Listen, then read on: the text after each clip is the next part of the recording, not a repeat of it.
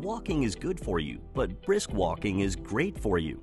A UK study that collected activity tracker data from 78,500 people between the ages of 40 and 79 during a seven day period and followed up on them six to eight years later found that not only was the number of steps walked important, but the pace at which one walked made a huge difference.